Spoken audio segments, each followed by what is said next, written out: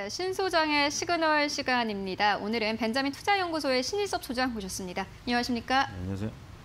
네, 소장님, 저희가 지난주 금요일에 SK 바이오사이언스 이야기를 나눴는데 그날 주가가 급등했더라고요.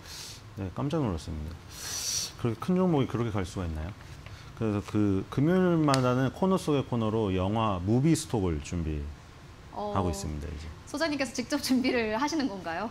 네, 제가 하는 거죠. 누가 해주겠어요? 네, 알겠습니다. 러브 앤 드럭스 보셨나요? 그래서 주말에 어, 러브앤드럭스 안 보셨나요? 네, 보고 싶은데 네. 그게 없더라고요. 그 넷플릭스는 없더라고요. 아 없어요? 네. 넷플릭스 말고 찾아보시면 있을 거예요. IPTV나 이런 데. 알겠습니다. 옛날 앞으로는 거에, 네. 금요일 날 어떤 영화 가지고 오실지 알려 주시면 제가 그렇죠. 미리 그거 보고 보라고 올게요. 하는 거예요. 주말에 뭐 어차피 사회적 거리두기 하니까 보면서 거기 영화 속에서 찾아보는 거죠. 주식 관련 영화가 많이 있어요. 음. 네, 뭐 엉뚱한 건 아니고 딱 그 시점에 맞는 걸 갖고 와서 또 주가까지 오르면 이건 금상첨화죠. 금상첨화가 일어나서 네. 그러면 오늘의 금상첨화는 어떤 기업일까요? 근데 오늘 원래 라임을 맞춰왔는데 롯데렌탈 상장 카운트다운, 로, 렌탈업 주가 level up 해서 down과 up 그 라임을 맞춰왔는데 너무 길어서 그런지 지금 안 나갔어요. 제가 원래 준비한 제목은 이런 거였다는 거. 네, 오늘 러- 롯데 레- 렌탈 상장이 아니 공모가 시작됩니다. 오늘과 내일이죠. 지금 카카오뱅크만큼은 아니지만 그렇죠. 이거 뭐 기다리시는 분이 많죠. 렌탈업계 1위기 때문에. 그래서 오늘 내일 하실 분들은 지금 상- 어디 어디 증권사죠? 어디 어디 증권사인지 모르겠는데 가서 하시면 될 것 같아요. 청약 내시면 될 것 같아요.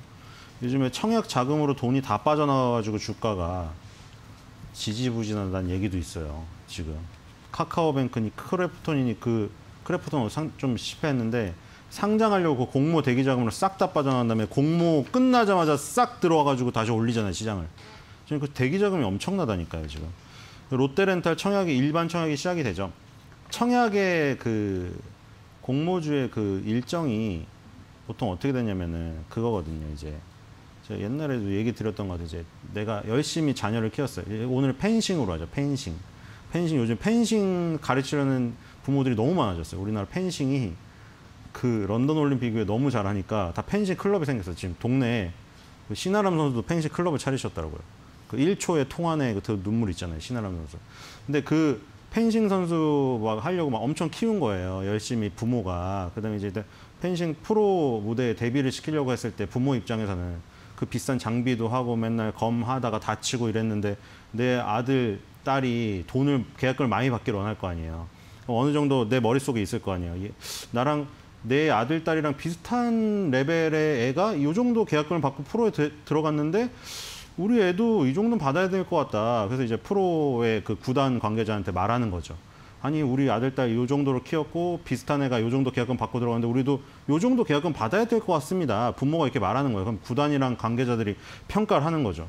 막 시- 성적도 보고 인성도 보고 옛날에 학교 어떻게 다녔나 보면서 어 그래요? 음 우리가 보기에는 뭐 그 전 선수보다는 좀 아닌 것 같고 그렇다고 뭐 아주 저평가를 할 수는 없고 딱요 정도 괜찮은 건데 괜찮으세요? 하고 딱 그 계약금이 산정되고 프로에 데뷔를 하는 거예요. 그거랑 똑같은 거거든요. 그래서 지금 어떻게 되냐면 이제 한국 주관사가 있어요. 주관사. 한국투자증권이 대표 주관사였고 3일과 4일에 수요 예측을 했습니다. 제가 지금 말씀드린 게 바로 수요 예측이에요. 구단 관계자랑 부모님이랑 만나가지고 펜싱 선수 계약금 협상하는 거예요. 거기서 이제 롯데렌탈이 제시한 그 롯데렌탈을 펜싱 선수 부모님이라고 생각하세요. 펜싱 선수 부모, 부모 펜싱 선수라고 생각해서 펜싱 선수 부모님이 롯데렌탈이라는 선수를 희망 범위 상단 공모가를 5만 9천 원으로 정했어요. 5만 9천 원까지. 그래서 5만 9천 원까지 해서 평가해 주세요. 그랬더니 이제 국내에서 640개, 해외에서 122개 기관, 총 762개 기관이 모였어요. 거기서 이제 수요 예측을 했는데 경쟁률은 217.6대 1이 나왔습니다. 롯데렌탈이. 그리고 기관 물량 중에 99.3%가 아까 롯데렌탈이 제시했던 롯데렌탈은 우리는 우리가 판단했을 때 뭐 비교 대상 기업을 사- 선정하는데 어떤 거냐면 뭐 AJ 네트워크스라던가 SK 렌터카를 선정했어요. 이 롯데렌탈이라는 회사가 자동차를 주로 렌탈하는 회사이기 때문에 걔네들이랑 비교했을 때 우리는 이제 공모가 밴드를 정했는데 상단 밴드는 5만 9천 원 정도로 했으면 좋겠습니다. 롯데렌탈을 제시한 거고 그 기관들 762개 기관이 99.3%가 5만 9천 원 이상을 적어냈어요. 그러니까 롯데렌탈의 가치를 높게 평가를 한 거죠. 그리고 최종 공모 가격은 5만 9천 원으로 결정이 됐어요. 이제 이 결정된 거를 가지고 이제 일반 투자자들한테 공모를 하는 거죠. 그게 바로 오늘과 내일, 9일, 10일. 일반 공모 그 참가자들은 이제 밴드에서 고르는 게 아니라 최종 확정된 5만 9천 원 그걸로 청약을 하시는 거예요. 거기서 이제 5만 9천 원 공모가에서 첫날 첫날 상장일 날 더블로 시작할 50%에서 200%로 시작할 수가 있어요. 그러니까 5만 9천 원의 반 가격 2만 4,500원에 출발할 수도 있고요. 최악의 경우에 아니면 200% 제일 좋은 거죠. 두 배. 두 배 대충 12만 원에 시작할 수 있어요. 그 더블에서 다시 상한가 30% 가면은 그게 따상인 거예요. 카카오뱅크는 따는 실패하고 상은 성공했죠. 공모가 대비 두 배로 못 시작했는데 상한가는 성공했어요.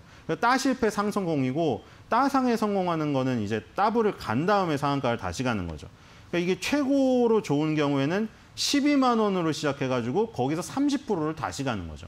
그러니까 12만 몇천 원이죠? 100, 해보세요. 3, 3만 6천 원, 15만 6천 원인가? 그 정도로 끝나면 최고가죠. 그래서 이렇게 되는 건데 지금 일단 장단기 렌터카, 오토리스, 중고차, 카쉐어링, 일반 렌털까지 영위하는 종합 렌털 기업이죠. 그래서 요 롯데 렌탈이 상장하면서 어, 어떤 효과가 있을까 하면 렌탈 기업에 힘을 불어넣어주는 거. 그거예요 다. 게임 회사가 크래프톤이 상장하면 크래프톤이 너무 좀 뭐 공모가 거품에 좀 시달려서 청약이 좀 안 좋았는데 경쟁률이 어쨌든 크래프톤이 지금 3N이라고 3N은 제가 설명드렸죠. 3N이라고 불리우는 그 삼, 삼두마차가 있는 시장에서 크래프톤이 그거보다 큰 지금 그 지금 시가총액이 나오거든요. 그러니까 어쨌든 공모가 거품이든 뭐든 걔네가 큰 공룡이 들어오면 그 게임 업계가 뭔가 활기가 돋는 거예요.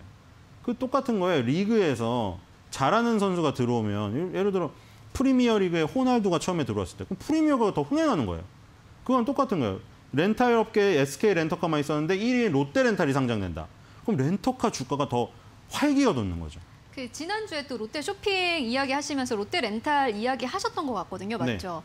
네. 그때 IPO 있으면 롯데 쇼핑도 마찬가지로 주가가 좀 탄력받을 수 있다라는 부분도 언급을 해주셨는데 롯데 렌탈의 경우에는 현재 우리 국내 시장에서의 이 인지도나 위상은 어느 정도예요? 1위입니다. 1위요. 네, 음. 압도적인 일이죠. 근데 렌탈이 여러 가지 있잖아요. 코웨이가 주도하는 그 일반 가전 렌탈 시장이 있고 이 롯데 렌탈은 렌터카예요. 렌터카. 좀 구별돼야 돼요. 물론 일반 렌털도 있는데 일반 렌털은 뭘로 하냐면 묘미라고 있죠. 저도 옛날에 두 번인가 빌려봤거든요. 그 노인 기기를 빌려봤어요. 저는. 묘미에서. 롯데가 하는 묘미 있어요. 묘미에서 한때 막 고양이 나오고 막 선전하는 거 있었어요. 저도 이용해봤는데 포장이 그대로 새 걸로 와서 포장을 그대로 다시 해서 보내면 돼요. 일주일 쓰다가. 근데 뭐 별로 그게 쓰, 쓰, 계속 쓰진 않아서 안 썼는데 그 일반 렌털이 있는데 그 부분은 적고 롯데 렌털 그 TV 홈쇼핑 키시 하시면은 렌터카 하면은 다 SK 아니면은 롯데 렌터카 맨날 그 쇼호스트들이 나와가지고 하잖아요. 뭐그 롯데 렌터카가 1, 1등이에요. 그러면 지금 뭐 제주도 쪽에서 어떻게 잘 되고 있는 건가요? 근데 단기 렌- 그러니까 단기 렌탈과 장기 렌탈이 있죠. 단기 렌탈은 제주도에서 폭발했죠 지금. 왜냐 면 해외로 못 나가게 하니까 지금 김포공항 국내에서는 예약률이 꽉 찼어요. 지금 탑승률이 100%예요. 그래서 김포공항에 내려가지고 전부 그거죠. 호텔 렌터카 이거 패키지잖아요 결국. 렌터카부터 시작하는 거 아니에요? 렌터카, 항공, 숙박 이거 세 개 패키지잖아요. 렌터카는 무조건 해야 되니까 제주도 돌아다니려면 단기 렌탈이 제주도 때문에 지금 실적이 폭등했다. 그러면 렌탈 시장 자체가 좀 커지고 있는 상황인가요? 네, 렌털 시장 자체도 커졌죠. 단기 렌탈은 이 그 코로나 19 때문에 성장을 했고 단기 렌탈뿐만 아니라 이제 장기 렌탈 왜냐하면 구독 경제, 구독 경제가 지금 활성화돼가지고 다 구독 경제, 빵도 구독. 그 일주일에 세 번 빵을 배달해주고요. 와인도 구독해요. 맞아요. 일주일에 한 달에 뭐 몇 몇 번 내가 한 와인 배달해주고요. 꽃도 다 배달해주고요. 소장님도 이용하고 계신가요? 아, 저 안 이용 안 해요, 저는. 중간중간에 사지 저는 그렇게 안 하고. 제네시스는 또 제네시스 그, 그 일반 승용차가 있고 세단이 있고 그 RV 차량 있잖아요. 그거를 설정해가지고 쓸 수가 있어요. 지금 구독 경제로. 이번 주에는 RV 놀러 가야 되면 산으로 놀러 가면 RV. 다음 주에는 난 그냥 질- 질주할 거니까 세단. 그러니까 제네시스를 계속 돌려 하는 구독 경제도 나오고 다 구독 경제가 지금 활성화됐기 때문에 이 장기 렌탈 서비스가 굉장히 또 구조적으로 올라가고 있죠. 구조적으로 코로나19랑 상관없이. 사실 저는 다 렌탈하면은 코웨이 코웨이부터 생각이 나거든요. 네. BTS 효과 덕분에 워낙 좀 성장을 하고 있는 기업인데 다른 렌탈 기업의 상황은 어떻습니까? 예, 그쪽 렌탈은 그쪽 렌탈도 좋아요. 가전 렌탈도 코웨이랑 그러니까 지금 그 계정수로 판단하는 거죠, 결국엔. 계정수가 다 늘어나고 있어요, 전체가. 그러니까 일단 우리나라 전체 가구의 약 52%가 렌털 서비스를 이용 중이고 올해 상반기 누적 계정수 코웨이가 650만 개. 압도적입니다. 어느 정도냐면 LG전자가 2등인데 280만 개. 반도 안 돼. 코웨이가 압도적이고 그다음 280만 개 LG전자, 그다음 SK매직, 쿠쿠홈시스가 211만 개, 200만 개 계정 숫자로. 그래서 얘네가 1, 2, 3, 4인데 1강 3중 정도죠. 1강 3중이죠. 1강 3중 정도인데 전체적으로 파이가 늘고 있다. 근데 코웨이는 어쨌든 간에 압도적이긴 하지만 얘네가 뒤에서 많이 쫓아오니까 해외로 나갔죠. 그래서 말레이시아 2007년도에 진출해서 압도적으로 1위가 됐어요, 지금. 아, 말레이시아는 상수도관이 노후화돼가지고 물이 안 좋아요. 그래서 정수기 사업이 잘 됐어요. 그 다음에 베트남으로 갔죠. 베트남은 석회암지대가 많아서 물에 석회질 성분이 많아요. 그래서 정수기가 잘 팔릴 환경인데 정수기 업체가 없었죠. 그래서 코웨이가 가서 말뚝을 박아버렸어요. 코웨이가 받고 쿠쿠홈시스 가서 받고 그 다음에 이제 뒤늦게 SK에게 매직이 가려고 했지만 이미 말뚝이 바뀌어 있어서 뽑기가 힘든 상황이고 그리고 지금 그래서 코웨이가 더 드라이브를 걸려고 BTS를 모델로 세웠죠. BTS를 모델로 세워가지고 동남아시아에서 인지도가 너무 높기 때문에 물론 북미 유럽에서도 좋지만 코웨이가 거의 지금 해외 시장의 매출이 뚫리면서 지금 굉장히 좋은 상황이죠. 무거웠던 주식이 움직이고 있죠. 코웨이가 엄청 무거운 주식이었는데 움직이고 있어요. 2011년도 들어서 바닥에서 많이 올라갔어요. 7만 원에서 9만 원 가까이 올라갔죠 지금. 네, 그래서 60개월 선까지 돌파시켰습니다. 60개월 선을 돌파한 거는 2018년 이후에 처음이에요 지금. 그래서 굉장히 의미가 있죠. 그러면은 자동차나 아까 전에 이제 방금 얘기해 주신 게 코웨이인데 이 두 업종 중에서는 어떤 렌털 시장의 성장성이 더 큽니까 현재? 둘 다 좋아요. 근데 이 그 해외 매출, 해외 성장을 보면은 코웨이나 뭐 코코홈시스 이런 게 좋고 렌터카는 해외 진출이 지금 어렵잖아요. 그래서 이 렌터카는 장기 렌털 시장의 이 그 성장성 그리고 전기 자동차 수소차가 많이 나오잖아요. 그래서 전기 자동차 수소차를 타보고 싶은데 사기가 꺼려지시는 분들 있잖아요. 그분들이 단기로 빌려서 일단 해봐요. 그거를 타보는 그 수요가 있고 젊은 사람들은 왜냐면 딜러를 만나기 싫어하거든요. 젊은 사람들 은. 딜러는 판매를 목적으로 하기 때문에 시달릴 염려가 있어요. 근데 렌터카를 빌려서 타보는 거죠. 그리고 수소 전기 자동차 수소차로 지금 다 바꿀 예정이라고 합니다. 롯데 렌털 렌털이나 SK 렌터카가 지금 롯데 렌터 이정 얘네는 어느 정도 어느 정도냐면 롯데 렌털은 렌터카 시장 점유율 21.8이고요. SK 렌터카 19.2, 현대캐피탈 12. 그러니까 아까 그 코웨이랑 LG전자, SK매직, 쿠코홈시스의 차이보다는 적어요. 그렇죠? 차 사이보다는 적은데 SK 렌터카가 원래 이 점유율이 더 차이가 났었는데 어떻게 되냐면 3위인 AJ 렌터카를 먹었어요. 그래서 이렇게 하, 한 번에 따라잡은 거예요. 원래는 롯데렌터라고 차이가 더 났었죠. 그래서 이렇게 되어 있고요. 중고차 가격이 오르는 것도 좋은 거죠. 지금 신차가 안 나와요. 반도체가 없거든요. 반도체가 없어요. 지금 아까 뭐 DBI 텍도 나오고 나오잖아요. 지금 반도체가 없어가지고 차량용 반도체가 모- 모자라서 그 DBI 텍에 그런 거 만들어주는 거예요. 삼성전자, SK하이닉스는 차량용 반도체를 안 만들어요. 돈이 안 되거든요. 그래서 차량용 반도체를 DBI 텍이 그런 거 만들어주는데 물량이 없어서 자동차가 생산이 안 돼가지고 기아 EV6나 현대자동차 아이오닉 6가 5가 신청해 놓으면은 몇 달을 기다려야 돼. 그래서 중고차를 사시는 분들이 있어요. 그래서 타이어주가 올랐잖아요. 중고차 산 다음에 타이어만 가니까. 근데 중 이게 렌터카 업종에도 좋은 거죠. 렌터카가 렌터카를 돌리다가 이제 렌터카가 조금 안 좋아지잖아요. 그 중고차로 팔아요. 근데 중고차가 좀 올랐잖아요. 그러니까 렌터카 사업이 잘 됐는데 그게 조금 지나면은 또 중고차로 팔았는데 중고차 가격이 지금 너무 좋아요. 중고차 가격이 신차 가격을 역전한다는 그런 스팟 소식도 나와요. 그래서 SK 렌터카는 중고차 팔아서 돈 벌고 렌털에서 돈 벌고 그 다음에 전기 자동차 수소차로 지금 렌, 렌터카를 싹 다 바꿀 예정이다. 그러면 이제 친환경차 위주로 그 세팅이 되겠죠. 그러면 친환경차는 가격이 더 비싸요. 전기차 수소차는 더 비싸기 때문에 렌털 가격이 더 비싸겠죠. 그래서 단가가 올라가겠죠. 그래서 다 좋습니다. 근데 해외 진출 모멘텀에서는 일반 가전 렌털이 좋고요. 국내 어떤 그런 모멘텀 구조적인 모멘텀에서는 렌터카 업체의 렌털이 좋다. 그렇다면 시장이 계속해서 성장한다는 것 이외에 또 다른 긍정적인 모멘텀도 있습니까? 렌터카 업체요? 네. 뭐 롯데 렌터에도 마찬가지고 SK 렌터카도 마찬가지고 소장님이 해주셨던 말씀이 뭐 다 공감도 되고 맞거든요. 제주도로 사람들이 많이 여행을 가고 중고차 가격이 계속해서 오르면서 렌터카 업체는 아무래도 뭐 호재성 이슈일 수밖에 없을 것 같은데 그 이외에 또 다른 이슈도 있을까요? 이외에요. 네, 음, 제가 사실? 생각을 해봤던 것은 네. 어, 다른 호재성 이슈가 아니라 이제 코로나19가 끝나고 나면은 이 렌터카 시장이 지금 커진 것만큼 구매력이 계속 있을까라는 생각이 들거든요. 렌터카는 계속 크죠. 현재 제주도 쪽에서 이제 렌터카가 없어서 못 빌린다고 하잖아요. 네. 그런데 이제 코로나가 끝나고 난다면은 그때도 과연 이런 사태가 지속이 될까 라는 네. 생각을 해봤을 때는 사실은 좀 부정적인 의견도 있거든요. 지금- 아 사태 사태요? 사태는 아니죠. 사태는 약간 나쁜 거 아닌가요? 사태보다는 뭐 이런. 현상일 것 같은데 아 그 렌털 업계의 성장은 구조적인 성장은 코로나 19랑 상관없이 진행이 돼요. 되고 음. 있잖아요. 단기 렌털에서 제주도가 잘 돼서 좋은 거지. 그리고 코로나 19가 지나면 더 폭발할 걸요. 제가 어떤. 이유에서요? 그동안 억눌렸던 수요죠.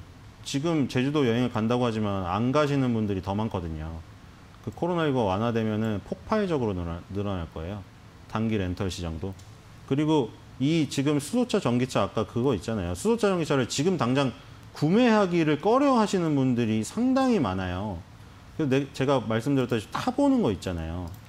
뭐 그 그린카 서비스라던가 이런 소카 같은 거 있잖아요.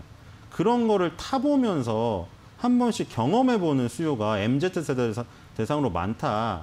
그리고 단기적으로 그런 거 있어요. 이사 갈 때나 요즘에 당근마켓이나 중고나라가 잘 돼서 에릭 씨도 직접 그때 지금 당근마켓 나가서 인증했잖아요.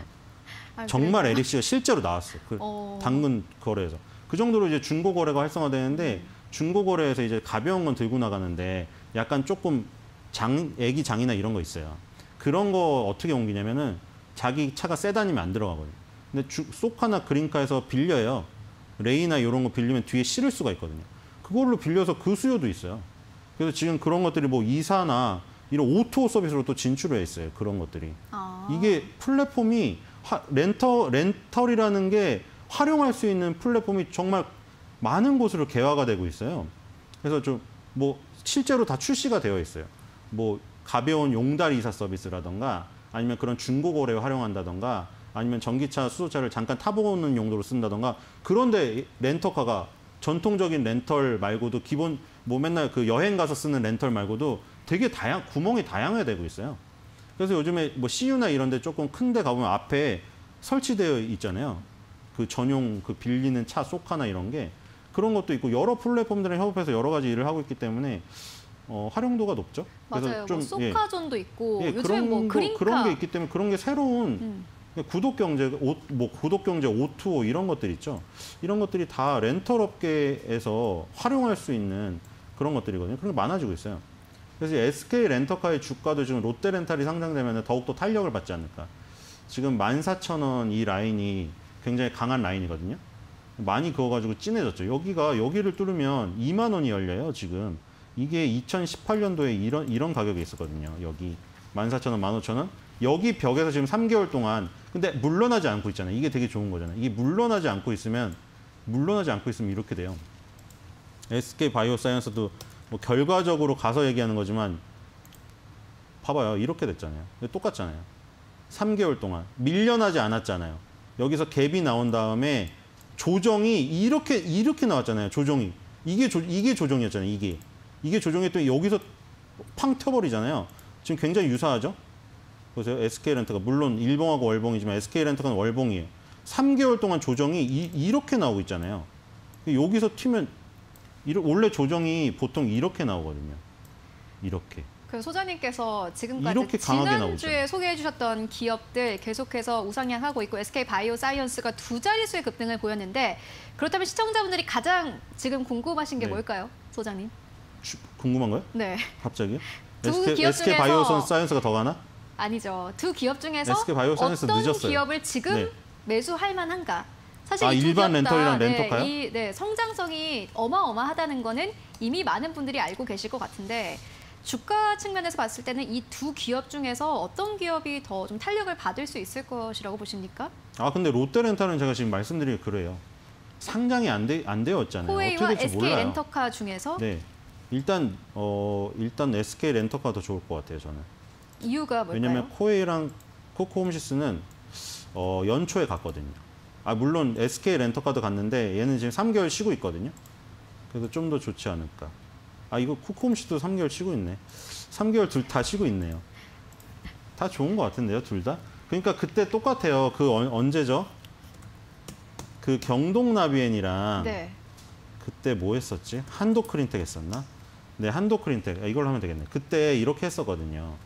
경동 나비엔이랑 한도 크린텍을 했을 때 이제 그 앵커님께서 한도 크린텍은 너무 거래량이 없고 작다 이렇게 얘기하셨어요. 그래서 제가 아니 경동 그러면 경동 나비엔을 해라. 그러신 분은 시가총액 좋은 없는 거 하면 되잖아요. 그렇죠? 경동 나비엔 같은 거. 그거랑 똑같아요, 지금. 뭐냐면 뭐 한도 크린텍과 SK 렌터카를 비교할 건 아닌데 어쨌든 SK 렌터카가 코에 비해 상대적으로 작으니까 SK 렌터카가 조금 탄력 있는 걸 좋아하시는 분은 하시면 되고 좀 무거운데 듬직한 거 하시, 하시 고 싶으면 코에 하시면 될 것 같아요. 그렇게 하시면 될 것 같아요. 어찌됐든 단기적으로는 SK 렌터카의 탄력이 더 좀 붙을 것이다라고 보시는 거죠. 아무래도 아까 전에도 언급을 해주셨지만 롯데 렌탈도 IPO를 하게 되면은 SK 렌터카가 더 주가의 탄력을 받을 수 있을 거다 이렇게 보시는 겁니까? 그러니까 성향이 완전 달라요. 그 SK 렌터카 하시는 분은 코웨이 못 하실 거예요. 그 답답해서 어떻게 하세요? 코웨이 하루에 움직임을 봐- 호가창의 움직임을 보세요. 움직이질 않잖아요. 아, 그 답답해서 못 하시는 분은 SK 렌터카 하시고 그때 말했잖아요. 경동나비는 그 안정적인 거 하시는 분은 지금 경동나비는 신고가예요. 그 뒤에 또 그리고 지금 SK 렌터카는 그것보단 탄력이 있으니까 물론 업종으로 나눌 수 있는데 나눌 수는 있는데 둘 다 좋은 것 같아서 부- 분류를 못해서 지금 나누지 못해서 그걸로 나눴어요 저는. SK 렌터카는 조금 더 탄력 있는 거 좋아하시는 분하고 답답한데 그냥 시장에 빠져도 안 빠지는 종목 있죠. 그게 코웨이예요. 시장에 빠져도 빠지질 않아요. 그런 종목을 하고 싶으면 코웨이를 하시고 탄력 있는 거. 좀더 롯데 렌탈 상장에 관계된 거 하시면 SK 렌터카죠 사실.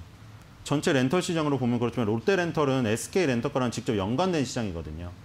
그래서 에- SK 렌터카가 지금 2% 차이죠. 롯데 렌탈도 상장해서 더욱더 밀어붙이겠지만 SK 렌터카도 AJ 렌터카를 인수해서 시- 지금 점유율이 2% 차이밖에 안 나요. 그래서 아마 1위를 노릴, 노리고 있어요. 지금 SK 렌터카가. 그래서 그런 부분에 그 베팅을 해보실 분들은 SK 렌터카를 해보는 게 낫다. 지금 뭐 미국 건 안 보여드렸지만 미국의 렌터카 시장의 렌터카 주는 이미 신고가를 가서 저 another level로 날아가 있는 상황이거든요. 그래서 그런 걸 보면 우리나라 렌터카 주도 후발로 움직일 가능성이 큽니다. 네, 알겠습니다. 계속해서 성장해가고 있는 렌털 시장 속에서 눈여겨볼 만한 기업 코웨이와 SK 렌터카 짚고 왔습니다. 지금까지 벤자민 투자연구소의 신일섭 소장과 함께했습니다. 고맙습니다.